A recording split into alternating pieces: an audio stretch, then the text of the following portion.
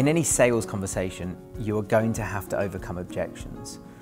A lot of salespeople make the mistake of fighting back or being aggressive with their opinion or being defensive when they're given objections. But you need to be prepared for them. I'm going to give you some ideas and some hints as to how you can deal with objections effectively. The first point is around your mindset. Make sure that you're prepared to be a little bit submissive. That doesn't mean you can't make your point, but it does mean that you need to be thinking about building rapport and a relationship with these people and not arguing with them.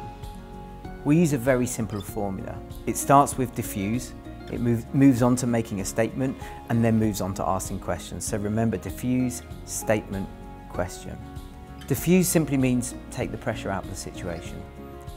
Some really great ways of doing that are, that's fine, John, that's not a problem, I totally understand. Just using language like that takes the pressure out and means that you're not arguing with that person. Move on to making a statement. A lot of the people I speak to say exactly the same thing. Or, look, I understand price is a problem for you, and it is for a lot of the people I speak with.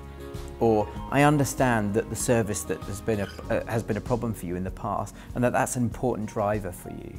So what you've done is you've shown that you're going to not battle with somebody, you've diffused the situation, you've shown understanding and that you're going to, to move the conversation on, and then you can move into a question. Tell me, how often do you do this? Or tell me, how much has it cost you in the past? So just to flow that through, we start with diffuse, we move to statement, and then we move to question.